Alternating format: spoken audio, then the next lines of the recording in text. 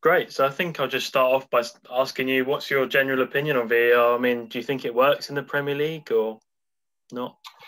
Well, I think you have to come from the basis of when I was boss of the PGMOL some years ago, and uh, went to watch rugby and introduced from that immediately uh, the communication kits that we see now around the world. That, that was new to uh, soccer referees, football referees.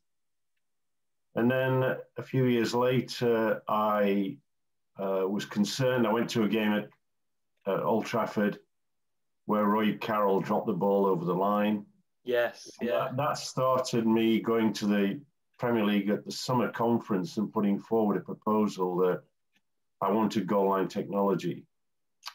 And I worked very closely with Paul, Dr. Paul Hawkins of Hawkeye to bring that about. We did a lot of testing at uh, Motspur Park, Fulham.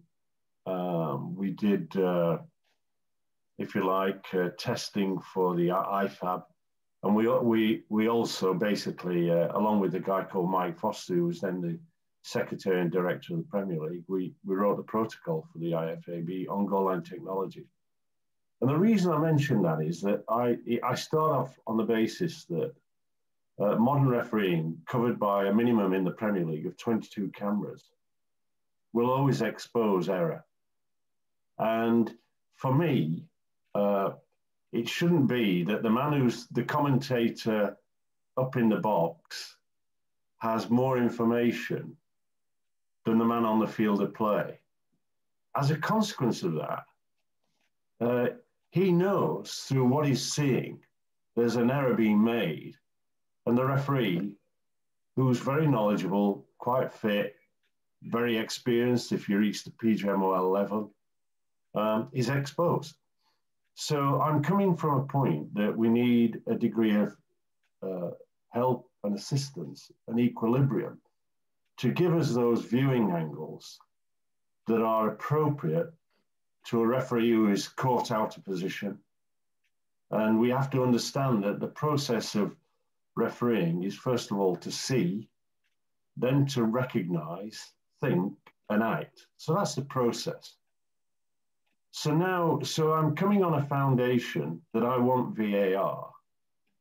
And I've sat in conferences way ahead of VAR being introduced, both in this country, in Portugal, in China, other parts of the world promoting the idea of VAR. Wasn't called that then, but let's let's not argue that point to say, look, it will be here and it will be here forevermore. Now we get into what I think is a very narrow view by the PGMOL. First of all, it's evident to me that the Premier League, who are one third of the board of the PGMOL, along with the Football League and the FA, didn't want VAR. Now, whether that's because of the fear of the people that pay them the greatest amount of money, i.e., television, and the, the risk that they think is going to interfere. But you know, we saw it work quite effectively at the World Cup when it was mm, introduced.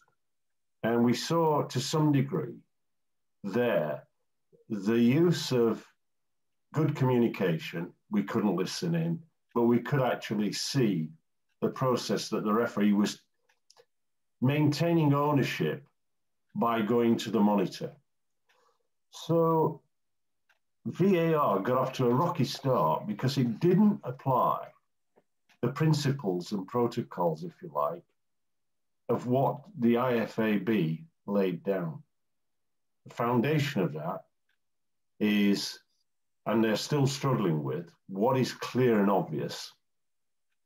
Massive, massive area.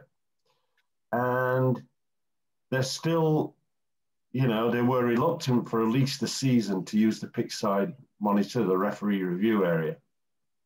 And one wonders whether, in fact, they're still using that sensibly and correctly. And this is almost like uh, the psychological impact of a referee when he's got to go to the monitor. So that has to be dealt with. That has to be, you know, if you're out in the middle, and I've done 20 odd, 50 odd years of active refereeing, when you're out in the middle, if somebody tells you you're wrong, you dismiss it. That's the first thing you've done all your life. And you believe that everything you do with the greatest integrity and respect, that you're right. And that's, it's not an arrogance, it's about your, you as a person, because you believe that you've trained, you've done many games. So the whole point here is the shock of a referee um, seeing something and making a decision and then being told he's got it wrong and then he needs to review it. And it's almost in the English Premier League become a walk of shame. And we know that when they get to the monitor, they are in effect uh, almost conditioned to believing that what is being said by VAR is what they've got to accede to. Mm. And I think that what we don't see is transparency. Because is Neil Swarbrick, nice guy, is uh, Mike Riley, or is Adam Watts, three people who are managers? You know, the ultimate boss is Riley.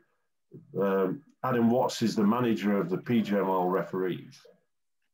And are they at Stockley Park almost saying, God is saying, I've got it wrong? And what we saw this weekend is Mike Dean in a very good position to view. The ball wasn't in play because he'd awarded correctly a free kick. So he's now move, moving as a referee into the dropping zone. And then we see uh, the reaction of a player and the reaction of two players. And Mike, Mike Dean, I've known him for many years, is a referee that if he sees a red card, believe me, he produces it instantly. He did not. So I have an insight into saying he wasn't going to card that at all. He was going to manage it effectively. But now, a guy who's had half as many games this year and he's less than competent, I, I mean, he, his career is towards the end of his career. I know that Dean is 52. But I'm showing the example of the impact of VAR if it's not used correctly. Because what it does is it gives this guy who the referee is exposed to the public and the media and everything else. VAR sat in a room, comfortable, and it's very easy to make big decisions. And I, and I find it amazing because Lee Mason is a referee who this season has done a lot less games than Mike Dean. I think he's done nine today. And he's not issued a red card. And he's very, very low with his yellow cards. So I'm actually saying that it's not the, it's not the equipment that's the problem here. It's, it's first of all, do we need to strengthen and talk about protocols? But the protocols are working generally in other countries much better. There's no question. And if we look at clear and obvious, we know full well that on the MLS, only one in three games has a VAR involvement. Yeah, yeah. Whereas I think we've got this basis of um, a power play within the PGMOL as to who is in control. And the referees uh, getting lazy. Right. Yeah. Great anecdotal story that's given by Nigel Owens, the rugby rugby union referee of great repute, probably the best official that's existed in any sport in the world. Great communicator, great man manager. And he tells a story of, he uses anecdotal evidence that says, okay, in those uh, early years, um,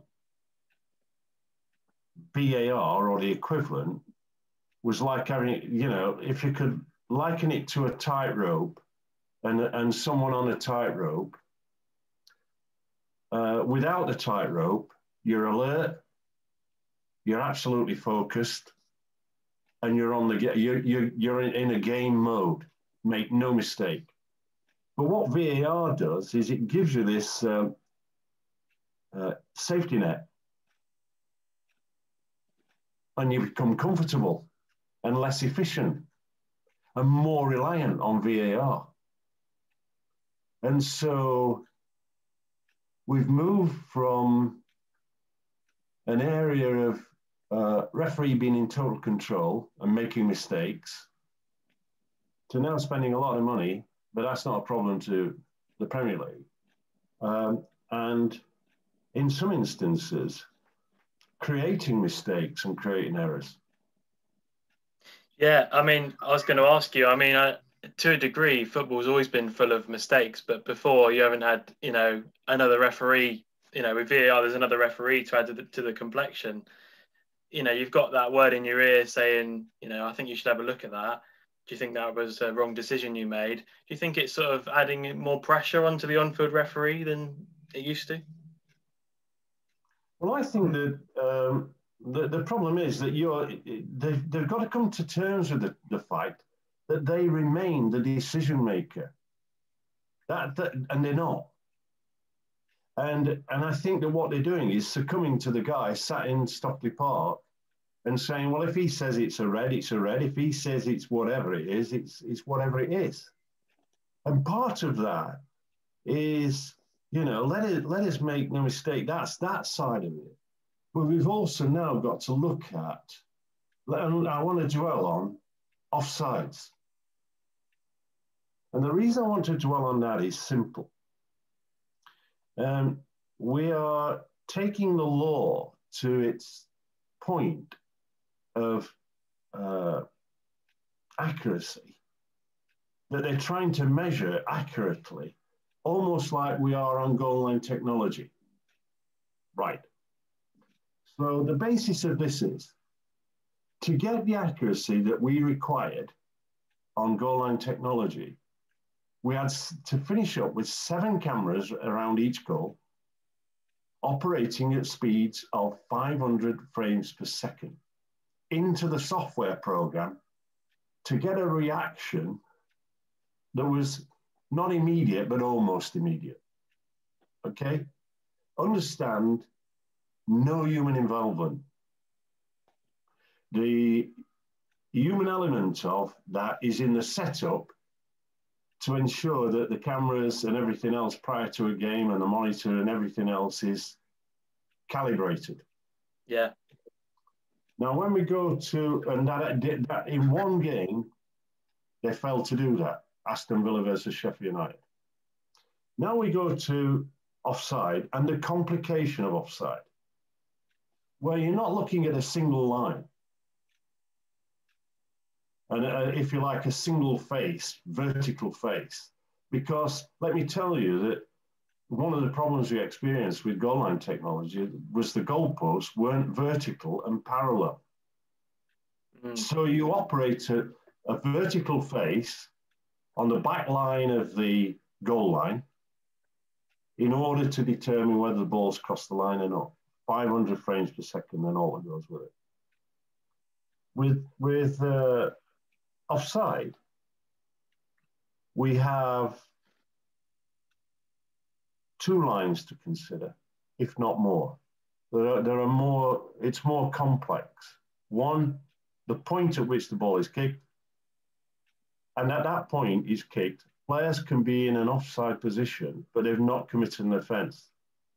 They only commit an offence when they're active. So, into that decision making process, there is a time lag.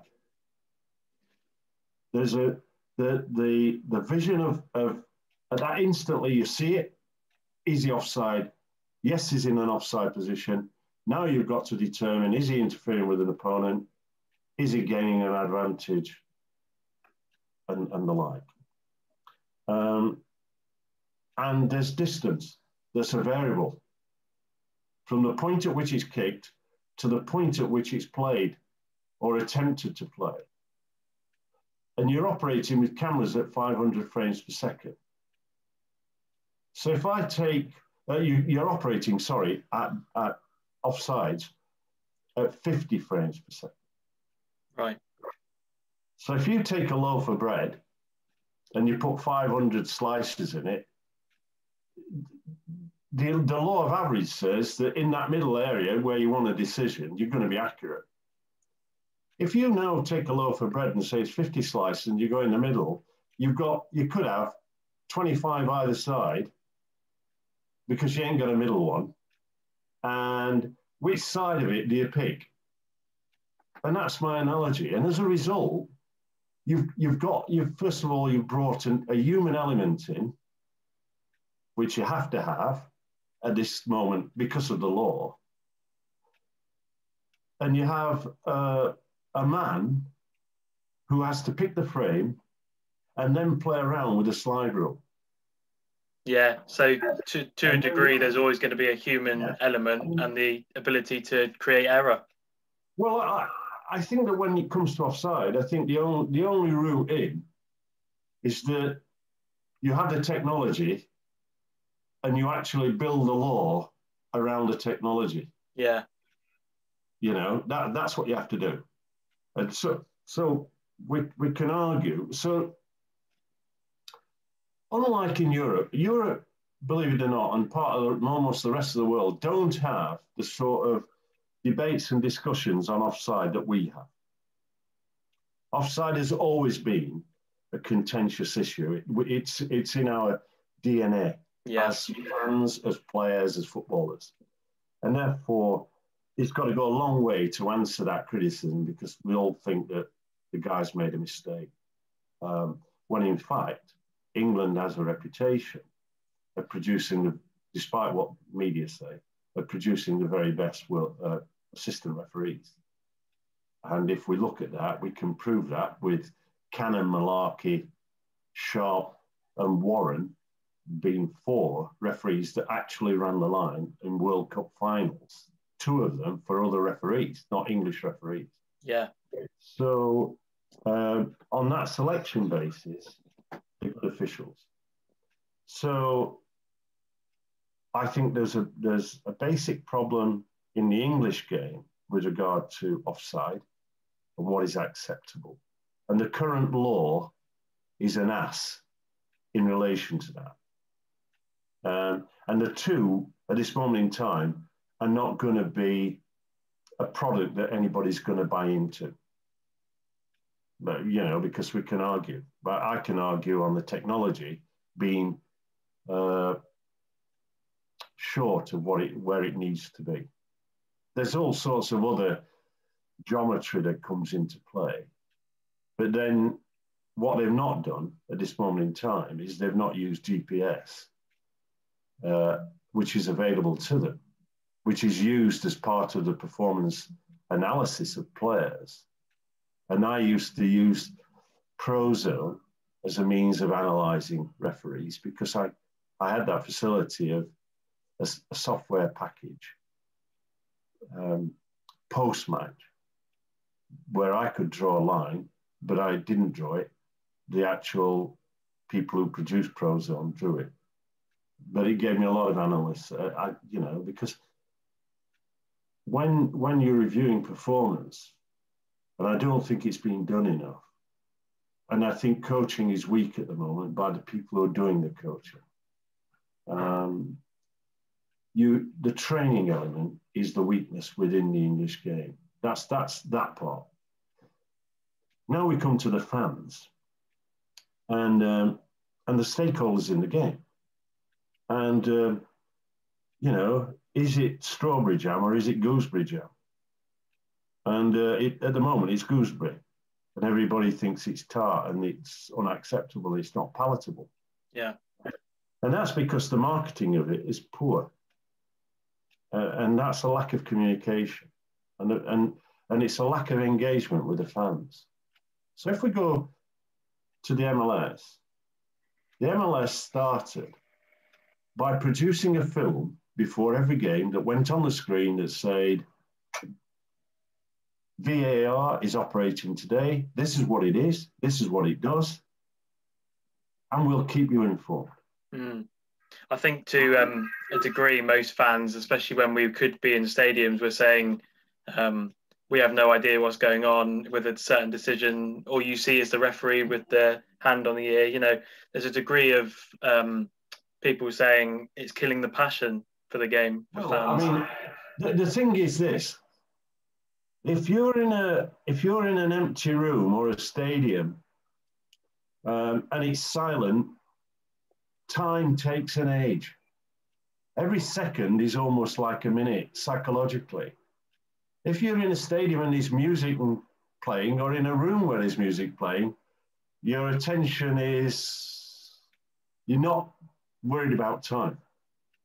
What what we've got here is just an attempt and a weak attempt for an organization that is world class in many other areas at communicating to its fan. It, it, it says to me that there's a lack of understanding and expertise in relation to social media and how they can transmit that information.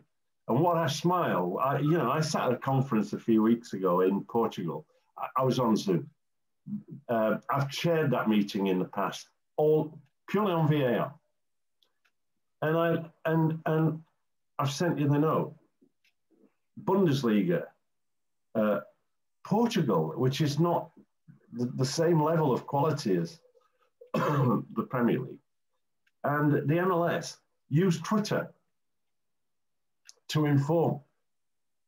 So, because the argument is that, you know, the initial argument is why can't we do it like rugby? And I see absolutely no reason why we can't do it by rugby. And everybody then says, oh, we'll get it, the, the referee and all that. Well, they don't get at the referee because the referee at rugby union shows authority. And if the game needs support, it's a little bit like the law. The law states that if a, a player or a manager or a coach follows the referee into the referee review area, it's a cautionable offence, yellow card. We've never seen one, have we? No. So if we're out on the field and we've got a big screen and we're looking at that big screen, it's very easy to say you're not allowed to come within the referee four meters. If you do, you get a yellow card. So yeah. I, I, think the old scenario is, um, and then it says, well, referees can't communicate. Well, I'm a former referee. I think I can communicate. Uh, I think uh, Howard Webb can communicate. I think Clattenburg, Walton uh, don't agree with it, with Walton's views on BT at times, but the ultimate aim is they're, they're capable of communicating. I know the referees, and every one of those referees is capable of communicating. And if you don't, and if they're not, then you educate them. You bring in an expert and what you do is it's very simple. You have a protocol. You know, when, it, when I first introduced it, and the reason why I mentioned the communication kit is the chatter that can break the concentration of a referee. So mm. you actually formalize not me as the boss, but those active referees. What is the what is, if you like, the, cri- the criterion protocol for the use of the communication kit. And, and you, you operate it, you, you, you, you know, you tweak it as accordingly. You know, we, we started off with some assistant referees having a push button to talk. And we found that you were doing that under pressure in the game. And so we took that away and said, right, it's open mic. Then we had everybody talking everybody wanted to tell the referee about decisions. And so the whole aspect here is how well do you review every decision that you make? How well do the referees as a group with the boss of the VAR and how regularly do they meet and discuss the VAR process and the decisions?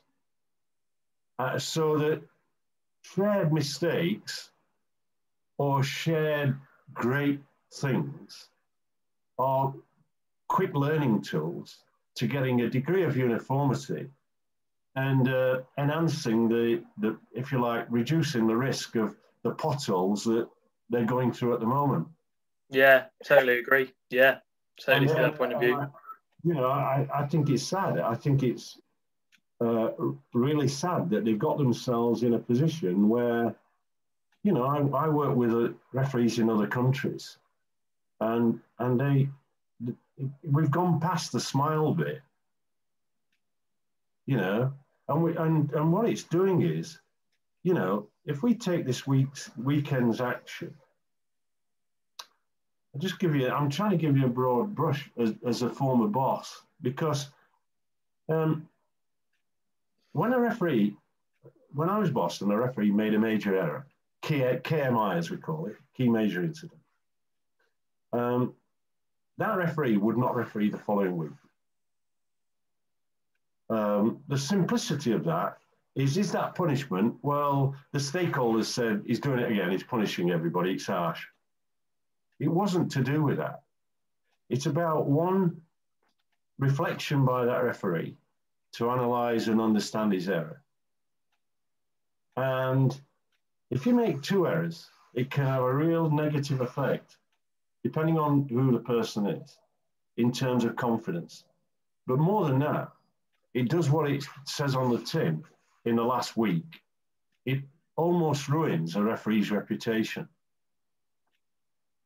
And yeah, so, I, I, yeah, I was going to say to a degree, do you think there should be um, more accountability? So for Mike Dean, um, his red card was obviously reversed, but then to a degree, was it his fault or was it the VAR um, Lee Mason?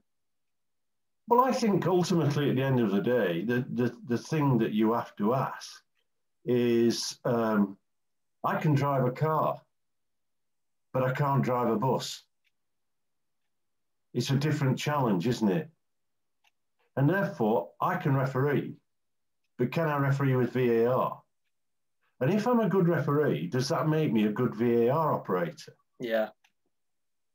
And if I've then got, and this is what you'll find in one of the slides, I think, because I asked the question before the presentation and the guy produced the slide. So what we've got is we've got the usual relationship in, in the tier process. So let us, let us say here, we've got uh, Martin Atkinson, the most experienced referee, and currently performing really well. Pretty laid back, nice guy. 18 games to date season. And you've got uh, Simon Hooper. Two or three games. He's watched Martin Atkinson on the uh, on the big screen for a number of years.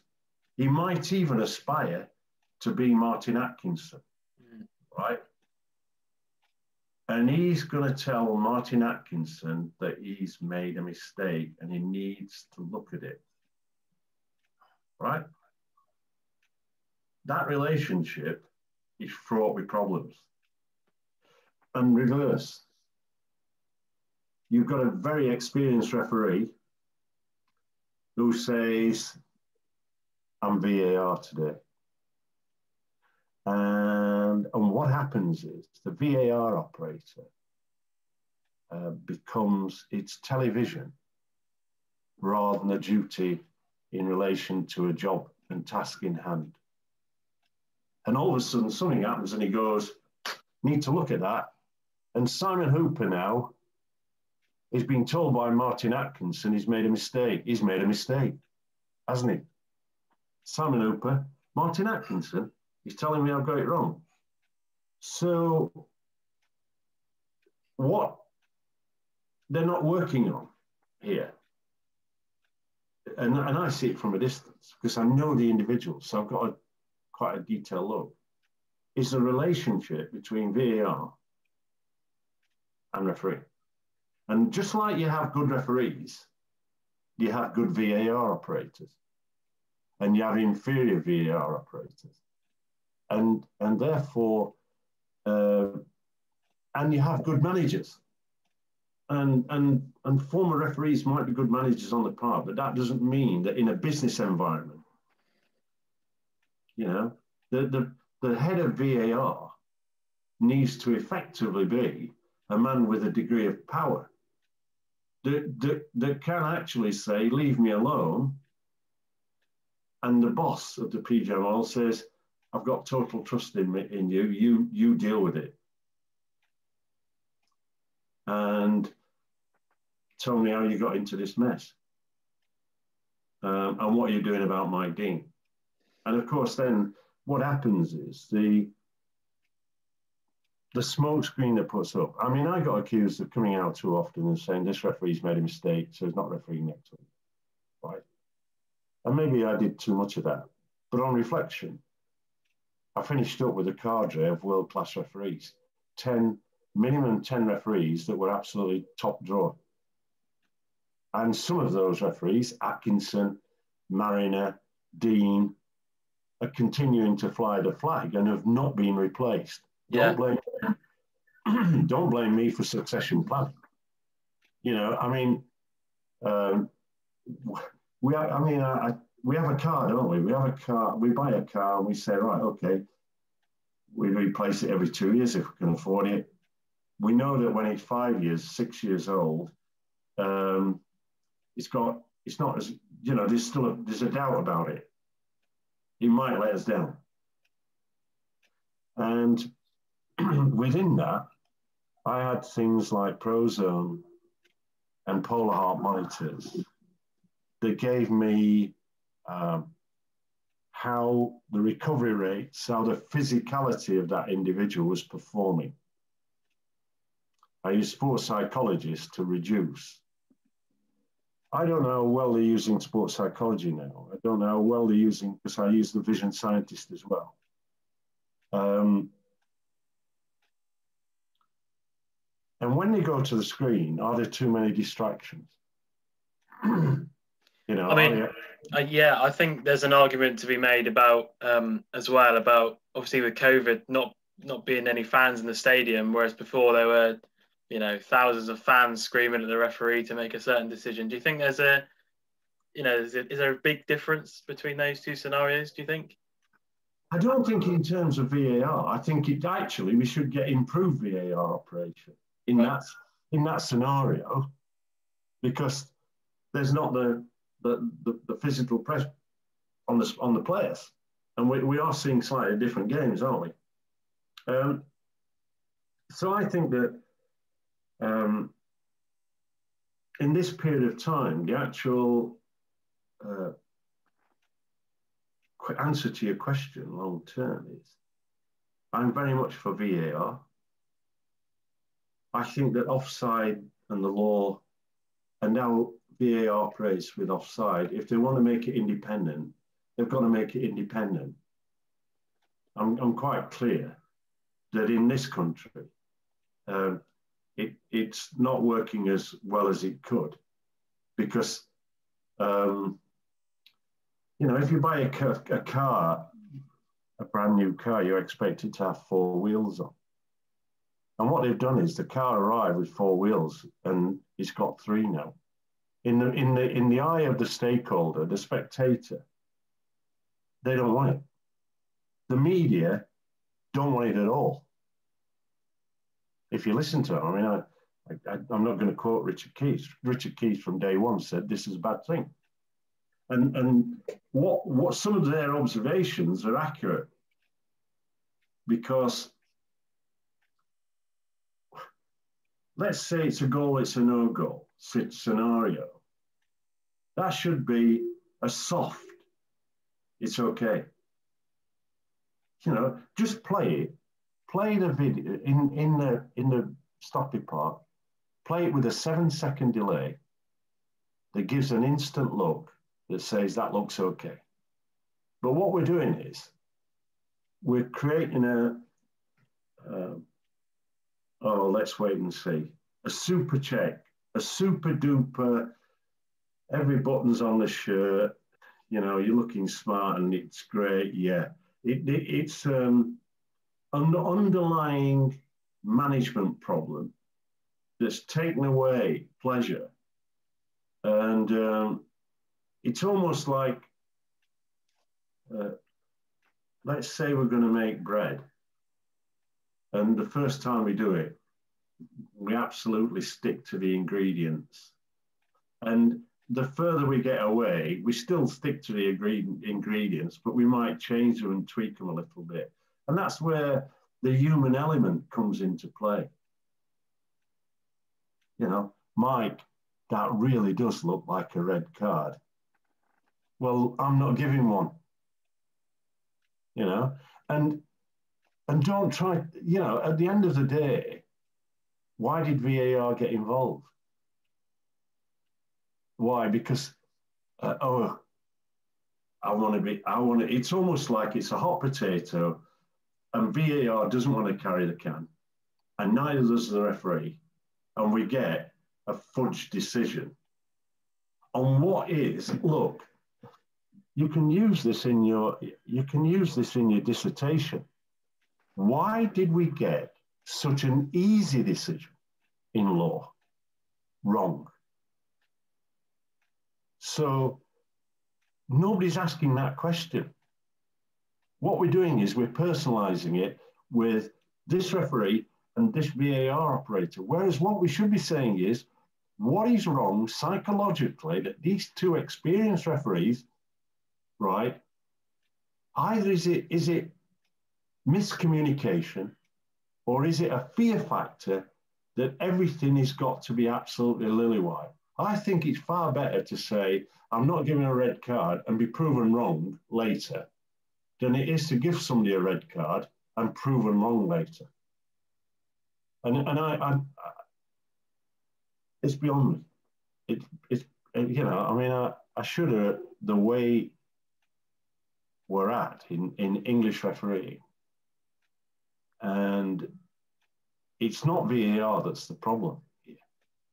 It's not the system. I've, I've suggested to you areas, you know, I think the system on offside is flawed. So I would say I, I, I wouldn't accept VAR procedure currently on offside. I would do what the MLS do and that is defer that decision to a second view with an assistant referee. And that's what we should be doing, not trying to get into the realms of. Now, we're in, we're in a battle here with the media who can draw the lines. And, and therefore, there's, there's potentially fear factor. And what we should be saying is, well, if you want to draw the lines, you draw the lines. But this is the system that we're not operating at the moment because we don't trust it. But then you'd be going to the boss of the Premier League who negotiates the television deal and says the integrity of your, your competition is being brought into disrepute because of the offside situation where if you if it's going to be a toe offside it's toe offside the, that's the law it was never intended to be that. Yeah. We've, we've created that. So I think the MLS and Howard Webb and, and Greg Barkey, who's the manager, are right in saying until the technology on offside is good enough, we're going to defer to a visual, a second replay, if you like, with the same information and a call made by an expert assistant referee. That's what we should be doing. And we should actually be reducing the number of people who are VAR operators, not increasing it. We yeah. should be, you know, I mean, again, what's happening at the moment is you've got a guy who's refereeing on a Saturday, could be VAR the following day, and he could have two games when he's and, and let's say makes an error in this game, the first one, as a referee, and that's still playing on his mind. And he's got he's got you know he's got two more ga- he's got two games to do today. Or even in the first one, he makes an error. He's got another one. So it, it's the it, it's for me it's the improvement of the human element apart from offsides with the VAR, and everything else is VAR. Now we move on because that's where we're at today. Where it needs to be, I'm quite clear, is if you look at, uh, I've sent you a note to look at, I don't know if you've seen Jarred Gillett yet, but you could use it, that film clip, because it's on YouTube. It's in the final of the A League competition. Jarred Gillett is currently, he's an Aussie, he was the top Australian referee. He's currently a refereeing here yeah. on the championship. Um, and he's absolutely right, because at that point we weren't using monitors, they were in Australia, plus open mic. So a goal or something's been scored and it's going to a check or something. And uh, Jarred says, Well, I'll go to the monitor just to sell the decision. And that's what he does. And they sell a perfect decision. So use that as a, as a form. But ultimately, the, the scope must be that we have to get to where rugby union is. But we also have to recognise, I think there's about a 19 year uh, timeline in that. But they got there a lot before. But I think it's been operating in rugby about that, that level of time. That's how far football is behind rugby. So um, that's the interesting bit. Yeah, yeah, definitely, yeah. Um, I think finally, just you said you wouldn't. You said you'd um, carry on with VAR. You don't think it's worth like just getting rid now, or Absolutely do you think it should be given more time? No, no, no, no, no, no, no. Because you go back to the basis of why it was introduced. Are you going to get rid of goal line technology? Are you going to get rid of communication kits? So the world moves on, and what is important is, uh, you know, um, you want to improve the accuracy of decision making. And if you're reliant on one guy who could have someone run in front of him, obstruct his view, or even not be in the right position, which is, you know, skill sets improve with players. That's the biggest challenge. Can I get in the right position? That's why you moved from, you know, in my era, probably doing nine, 10, well, probably 9,000, 9,500 meters to the, to someone in the championship doing 12,000 meters and the Premier League doing 11,500 meters in distance. That's why you, I brought a sprint coach in to move from, uh, you know, endurance running to explosive sprinting in order to recover the shortfall or the skill set of the player. The player who makes a quick move, you're out of position. And the only way you can respond is to get back in tune by an explosive sprint. So you adjust. So VAR is here to stay. Um, and I think the sooner they, they put in the level of education and management and coaching and transparency into the process, the better. Um, and uh, and think seriously, you know, as I have done, how do other countries operate? And what are they doing that others? Why, why, is, why is the Bundesliga, the MLS, and Portuguese league, and I've no doubt others, why do they operate Twitter? We don't. It, you know, is that a lack of knowledge of how social media operates? That it's a it's a key driver to communicating with a fan base. And if that is the case, then okay. And Old Trafford and, Manchester and uh, Liverpool don't have big screens to operate like rugby, then overcome that. Because most people now carry a mobile phone. And, and it's dead easy to put the replay on the mobile phone and say, this is why the decision's made. Why aren't we doing that? You know, so is a, I, I think it's almost like we don't, you know, it's a, a lack of energy um, to, to make the system better because other countries are going to operate it. You know, I've sat with a company this week, probably you should look at, who are who produced a, uh, a system whereby it's almost like a, the test pilot has a flight simulator for VAR.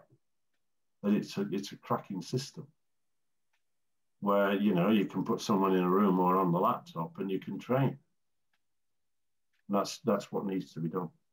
So those facilities are there. They've got to just open up a bit more, uh, rather than actually sitting in a room, actually, and believe that what they're doing is right. Actually, always examine what they're doing and is it right, and what are other countries doing, and why why is look, you're always going to have problems with VAR because the laws are opinion in some areas.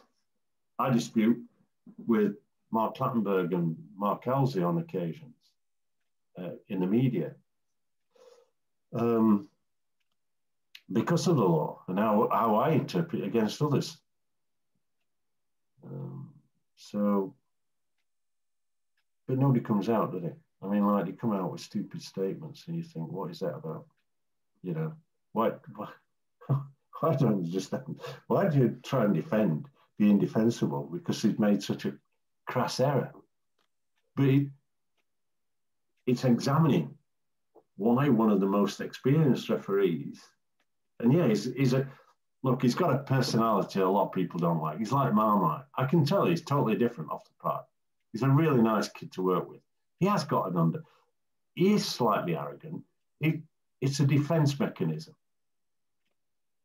because he didn't go to a public school. Right? That's one. I can bring that argument in. He didn't go to university.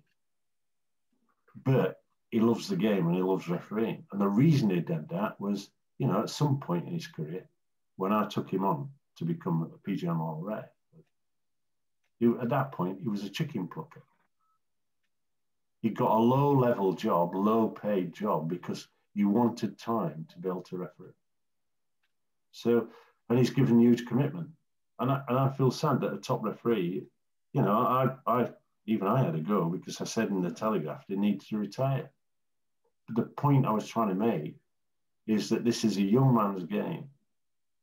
They've got to be athletic and they've got to be coached and trained far much better than they are at the moment because some of them are just not good enough. You know, Mason, I said three years ago he should retire. And why is it that, you know, why is it he only had nine games this season and Martin Atkinson, who's about the same age, has had 18? Tells you something, doesn't it? I don't have anything to do with the appointments. That's Mike, Mike Riley's position. So he's already put uh, Lee Mason in a box. what point in the line do you draw the line and go, you're off, and new fresh blood comes in? It's a very good point. Yeah. Yeah. I think that just about wraps it up. Thank you very much. Pleasure. Thanks, Lewis. All the best.